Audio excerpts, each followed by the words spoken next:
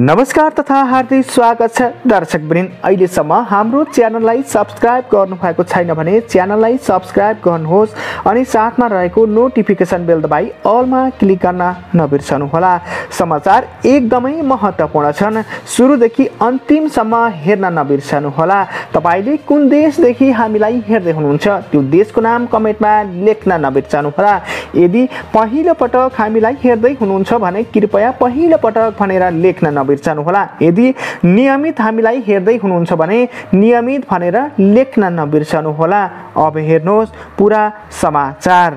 राष्ट्रिय स्वतन्त्र पार्टीका सभापति रवि लामिछानेले पार्टी र नेताको नाउँमा आउने गरेको विशेष उपहार अस्वीकार गर्न आग्रह गरेका छन्। पूर्व सूचना बिना केन्द्रीय कार्यालयमा विशेष उपहार आइरहेको भन्दै उपहार लिने पार्टीको नीति नभएको अवगत गराएका छन्। बिहिबार सामाजिक सञ्जाल फेसबुक मार्फत पर्व वा सन्दर्भ विशेषमा शुभकामना सहित उपहार आदान प्रदान गर्ने विश्वव्यापी चलन रहेको उल्लेख गरेका छन्। हार्दिक सम्बन्ध निरन्तरताको कामना तथा भावनात्मक पक्षसँग जोडिएको यो चलन अत्यन्तै सकारात्मक हुँदाहुँदै पनि राजपाले उपहार स्वीकार नगर्ने नीति लिएको जानकारी गराएका छन्।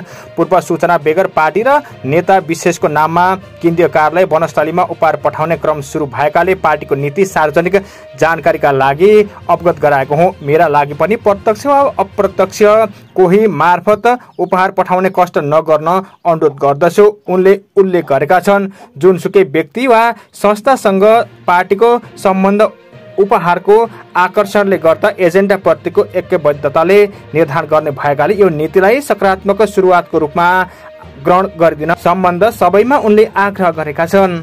उपप्रधान तथा गृहमन्त्री नारायण काजी श्रेष्ठ खतरामुक्त भएका छन्। बिआरआई सम्मेलनमा भाग लिन चीन गएका श्रेष्ठलाई आज अचानक हृदयघात भएपछि अस्पताल भर्ना गरिएको थियो। उनी हाल खतरा मुक्त रहेको सरकारका प्रवक्ता तथा सूचना तथा सञ्चार प्रविधि मन्त्री रेखा शर्माले जानकारी दिन् शर्माले गृहमन्त्री श्रेष्ठ अहिले बोल्न सक्ने हालतमा रहेको जानकारी दिन् श्रेष्ठ हृदयघातका कारण बेजिङ स्थित अस्पतालमा उपचाररत रहेको र अवस्था खतरा मुक्त रहेको उनको भनाइ छ। गृहमन्त्रीज्यू अहिले चीन भ्रमणमा हुनुहुन्छ। उहाँलाई अचानक गए राति हृदयघात भयो र उहाँको बेजिङ स्थित अस्पतालमा अपरेसन भएको छ।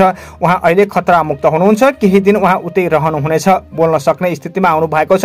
मन्त्री परिषदको निर्णय सार्वजनिक गर्दै उनले भनिन् बेजिङमा अतिथिका लागि निश्चित गरिएको डेडिकेटेड इन्टरनेसनल मेडिकल सर्भिस नामक एउटा अस्पतालमा भर्ना गरेर श्रेष्ठको उपचार भइरहेको छ। यो अस्पताल great hall of the people's नजिकै ह्यान आनमन आसपासमा रहेको छ। नेपाली काङ्ग्रेसका महामन्त्री गगन थापाले आफ्नो पार्टीले फागुन एक गतेको जनयुद्ध दिवस नमनाउने बताएका छन्। उनले जनयुद्ध दिवस माओवादीको कुरा भएको भन्दै आफ्नो दलले नमान्ने बताए। बिहिबार नेपाल प्रेस युनियन काठमाडौँद्वारा आयोजित शुभकामना आदान प्रदान कार्यक्रममा बोल्दै उनले यस्तो बताएका हुन्। महामन्त्री थापाले भने फागुन एक गते जनयुद्ध दिवसका रूपमा काङ्ग्रेस मान्दैन। त्यो माओवादी पार्टीको कुरा हो हामी मान्दैनौँ त्यस्तै उनले प्रधानमन्त्री पुष्पकमल दाहाल प्रचण्डले राम्रा काम आफूले र नराम्रा काम काङ्ग्रेसले गरेको आरोप लगाएको टिप्पणी गरे उनले भने प्रधानमन्त्रीले राम्रो जति मेरो नराम्रो जति काङ्ग्रेसको भन्नुहुन्छ मन्त्रीहरूले काङ्ग्रेसका कारण काम गर्न सकिन भनेर समाचार लेखाएका छन्। त्यसैले मैले निश्चित समय तोकेर सरकार कसले चलाउने टुङ्गो लगाउनु पर्छ। पहिलो संविधान सभाबाट संविधान बनाएको भए एघारवटा प्रदेश अनि नाम कस्तो थियो भनेर कल्पना गर्न पनि उनले स्मरण गराए। उनले आफूहरूले फादर अफ द कन्स्टिट्युसनल भनेर सुशील कोइरालालाई सम्झिएको बताए उनले आफूहरूले भने अनुसार नै देश अघि बढेको दावी गरे। नेकपा माओवादी केन्द्रका सचिव तथा गण्डकी प्रदेश इन्चार्ज देवेन्द्र पौडेलले धार्मिक सद्भाव र सामाजिक सहकार्यको वातावरण बनाउनु पर्नेमा जोड दिएका छन्। उक्त पार्टीको बेनीनगर कमिटीले दसैँ तिहार लगायत चार वर्षको अवसरमा बिहिबार बेनीमा आयोजना गरेको शुभकामना आदान प्रदान कार्यक्रममा उनले धार्मिक र सामाजिक सद्भाव खल बल्याउने तत्त्वप्रति सचेत रहनुपर्ने बताए। मिलेर बसेको समाजमा सामाजिक सञ्जाल दुरुपयोग गरेर धार्मिक र सामाजिक सद्भाव खल बल्याउने गतिविधिप्रति हामी सबै सचेत हुनुपर्छ नेता पौडेलले भने। सद्भाव खल बल्याउने व्यवस्थाप्रति भ्रम पैदा गराउने र देशलाई उदो गतितिर लैजाने गतिविधिलाई निरुत्साहित गर्न धार्मिक सद्भाव र सामाजिक सहकार हुनुपर्छ। सेवा प्रवाह र विकासका विषयमा नागरिकले उठाउने प्रश्नलाई राजनीतिज्ञ र प्रशासकले सचेत रूपमा लिनुपर्ने बताउँदै उनले अहिलेको व्यवस्थाबाट पछि फर्कने अवस्था नरहेको स्पष्ट पारे। नेता पौडेलले भने राज्यप्रति विश्वास दिलाउन सबै सरकारी निकाय पारदर्शी निष्पक्ष र जनताप्रति केन्द्रित हुनुपर्छ। सोही पार्टीका जिल्ला इन्चार्ज गुप्तबहादुर हमाले चार पर्वलाई धार्मिक सद्भाव र सहकार्य गर्ने अवसरका रूपमा प्रयोग गर्नुपर्ने आवश्यकता औलाए राप्रपा नेपालका अध्यक्ष तथा पूर्व प्रधानमन्त्री कमल थापाले नेकपा एकीकृत समाजवादीका अध्यक्ष माधव कुमार नेपाललाई जवाब फर्काएका छन्। नेपालले पूर्व राजा ज्ञानेन्द्र शाहलाई चुनाव लड्न चुनौती दिएपछि थापाले अहिलेको व्यवस्थाबारे जनमत सङ्ग्रह गर्न चुनौती दिएका हुन्। थापाले नेपालले पूर्व राजा ज्ञानेन्द्र बारे आलोचना गरेर लोकप्रिय हुन खोजेको टिप्पणी गरेका छन्। उनले फेसबुकमा लेखेका छन् पूर्व प्रधानमन्त्री माधव कुमार नेपाललाई खुला पत्र। प्रिय माधवजी राजालाई चुनाव लड्न आऊ भन्नु भएको समाचार सुने। डेढ दशकदेखि राज्य सत्ता छोडेर स्वतन्त्र र सचेत नागरिकको जीवन निर्वाह गरिरहनु भएका राजा ज्ञानेन्द्रलाई गाली गरेर वा उहाँको राष्ट्रप्रतिको चिन्तालाई आलोचना गरेर लोकप्रिय भइन्छ भन्ने भ्रमबाट पूर्व प्रधानमन्त्री समेत भइसकेको तपाईँ अझै मुक्त हुन नसकेको देख्दा उदेक लागेको छ। दुई हजार बैसठी त्रिसठीको आन्दोलन दरबारसँग सम्झौता गरेर टुङ्गिएको घटनाको तपाईँ स्वयं साक्षी हुनुहुन्छ। राजा ज्ञानेन्द्रबाट दुई हजार त्रिसठी वैशाख एघार गते राति भएको घोषणा मसौदाकार मध्ये तपाईँ पनि एक हुनुहुन्छ। त्यति बेला राजासँग भएको भद्र सहमतिको उल्लङ्घन गरेर विदेशीको दबाव र प्रभावमा षड्यन्त्रपूर्वक राजसत्ता पाखा लगाएर खडा गरिएको सङ्घीय गणतन्त्र अहिले भ्रष्ट व्यवस्थामा रूपान्तर भएको छ। ललित निवास जग्गा काण्ड सुन तस्करी र नक्कली भुटानी शरणार्थी काण्ड लगायतका दर्जनौं भ्रष्टाचार काण्डमा स्वयं प्रधानमन्त्री मन्त्री र सरकार नै संलग्न रहेका छन्। सायद तपाईँको पनि नाम मुछिएको छ। अहिले चुनाव लड्न सत्तामा पुग्न र पुगेपछि सरकार टिकाउन विदेशीको नेपालमा आशीर्वाद र सहयोग लिने आत्मसमर्पणवादी प्रवृत्ति हाबी भएको छ। देशभित्र सामान्य जागिर नपाएर लाखौँ युवाहरू विदेशी र बाध्य भएका छन्। धर्म परिवर्तनको डडेलुले देश आक्रान्त भएको छ। यो अवस्थामा जनताले भ्रष्ट व्यवस्था र भ्रष्ट शासकबाट मुक्ति खोजेका छन्। नैतिक शक्ति बोकेको साझा अभिभावकको रूपमा राज संस्था खोजेका छन्। त्यसैले राज संस्थाको लोकप्रियता बढेको छ। वंश परम्परामा आधारित राज संस्था तपाईँलाई मन नपरेको होला। तपाईँलाई त्यस्तो धारणा राख्ने अधिकार भए जस्तै राजा सहितको प्रजातन्त्र नेपालको निम्ति उपयुक्त हुन्छ भन्ने अधिकार हामीलाई पनि छ। यदि तपाईँलाई सङ्घीय गणतन्त्र र धर्मनिरपेक्षता साह्रै लोकप्रिय छ जनताले खोजेका छन् भन्ने लाग्छ भने एकपटक यो विषयमा जनतालाई नै सोधौन हिन्दू राष्ट्र वा धर्मनिरपेक्षता राज संस्था वा गणतन्त्र र संघीयता वा अखण्ड नेपाल मध्ये के राख्ने भन्ने बारे जनमत सङ्ग्रह गरौँ। सधैँको लागि यो विवादको छिनोफानो गरौँ। वर्तमान संविधानमा पनि जनमत सङ्ग्रहको प्रावधान छ। तपाईँ स्वयं सत्तारूढ गठबन्धनको प्रमुख नेता हुनुहुन्छ सक्नुहुन्छ। जनमत सङ्ग्रह गर्न भन्ने प्रश्न गर। यो राजावादीको तर्फबाट तपाईँलाई चुनौती भयो माधवजी। तपाईँको मित्र कमल थापा उनले फेसबुक स्टाटस लेखेका छन्। नेकपा एमालेका अध्यक्ष केपी शर्मा ओलीले महान पुर्खाको सन्तान हामी नेपाली भएको कारण हामीलाई हत्तपत्त कसैले हेप्न नसक्ने दावी गरेका छन्।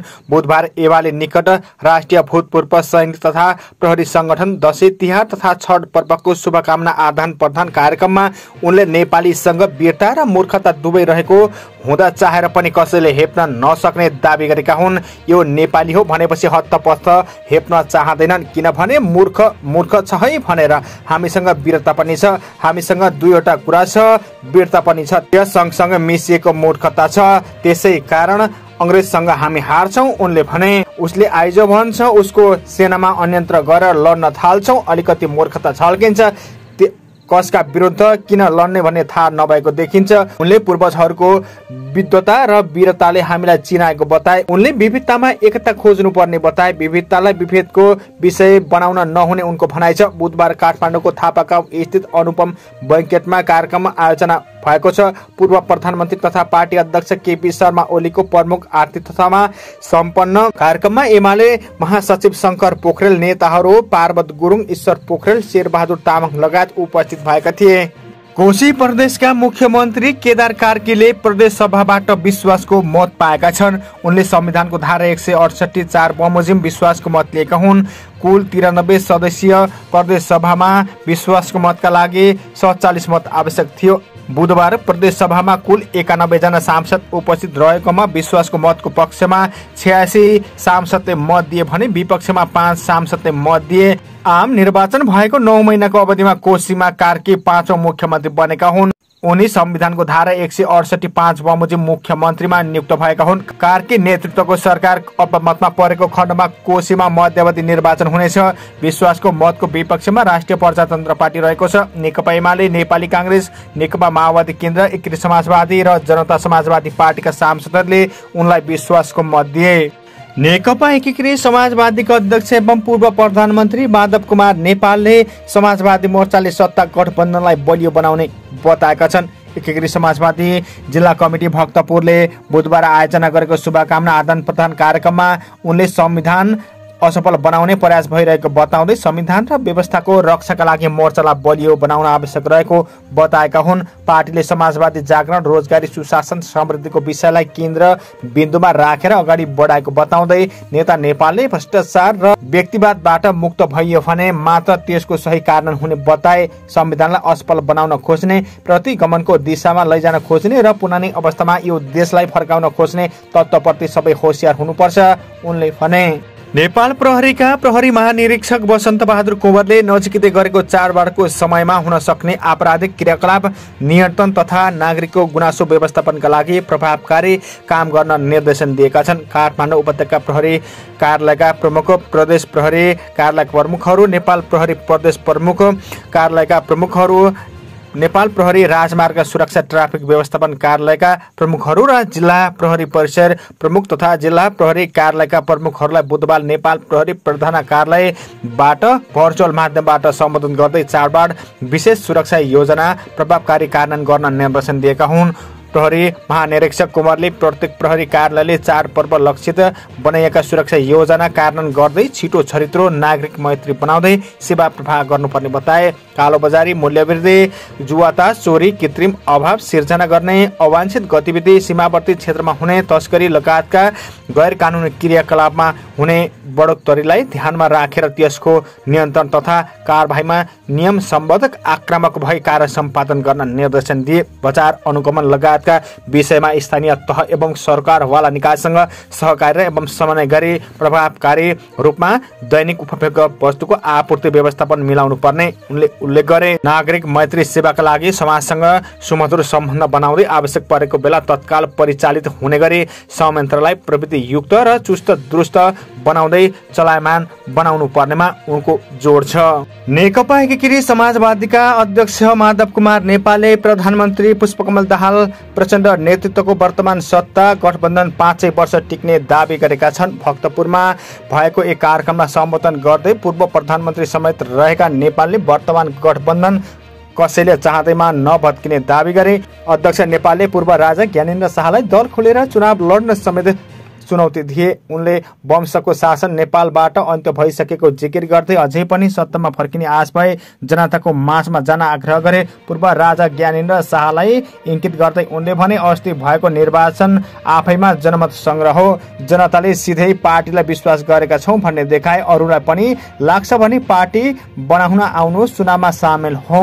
अध्यक्ष नेपालले यसअघि पनि पटक पटक पूर्व राजालाई चुनौती दिँदै दल खोल्न आग्रह गरेका थिए। काठमाडौँ महानगरपालिकाले महानगर प्रहरीको प्रमुख प्रहरी वरिष्ठ उपरीक्षकमा राजु नाथ पाण्डेलाई बढुवा गरेको छ। महानगरपालिकाले प्रहरी एन दुई हजार अस्सीको व्यवस्था अनुसार मङ्गलबार बसेको नगरपालिकाको बैठकले नगर उपरीक्षक पाण्डेलाई प्रहरी वरिष्ठ उपरीक्षकमा बढुवा गरेको महानगर सुशासन समितिका संयोजक ख्यामराज तिवारीले जानकारी दिए महानगरपालिकाको नगर प्रहरी एनमा नगर प्रहरी प्रमुखमा एसएसपी हुने व्यवस्था थियो।